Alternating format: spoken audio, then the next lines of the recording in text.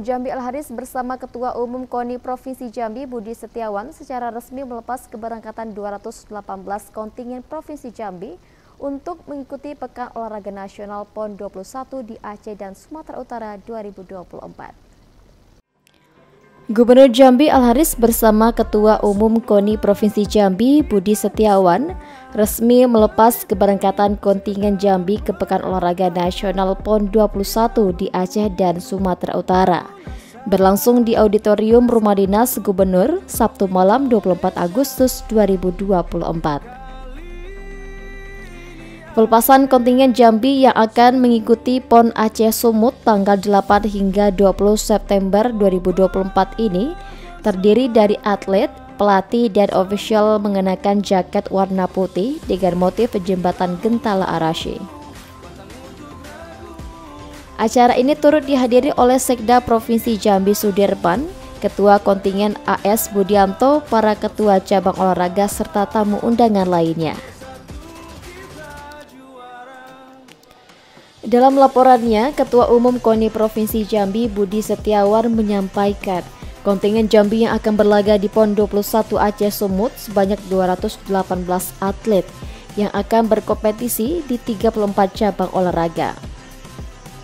Budi Setiawan juga optimis bahwa prestasi atlet Jambi akan meningkat di PON kali ini, mengingat persiapan yang telah dilakukan sejak Maret lalu kontingen Provinsi Jambi PON 2024 yang ke-21 uh, resmi dilepas oleh Bapak Gubernur dan insya Allah ada beberapa cabang olahraga yang akan mulai berangkat. Mulai besok tanggal 25 WUSU. Uh, di, di pertama WUSU itu akan bertanding di Medan.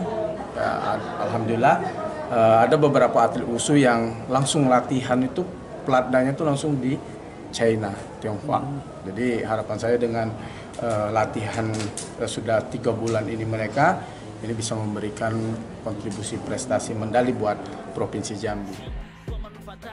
Sementara itu, Gubernur Jambi Al-Haris menyatakan keyakinannya bahwa kontingen Jambi akan mampu meraih prestasi gemilang di PON Aceh Sumut, terutama dengan melihat peningkatan jumlah kontingen yang dua kali lebih besar dibandingkan saat PON Papua lalu.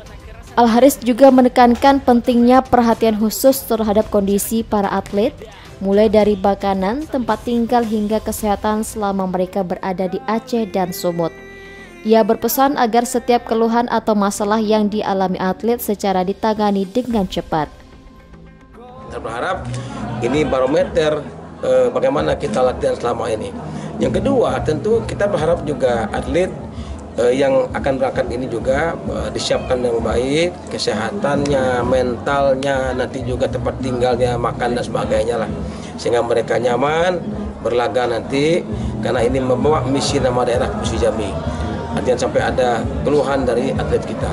Dan kami insya Allah akan hadir di Medan nanti di 9 September akan datang.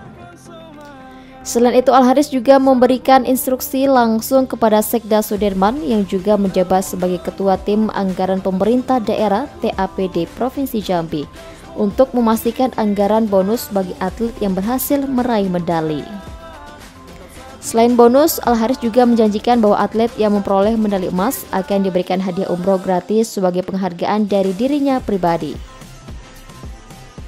Rian Chen Chen, Jack TV melaporkan.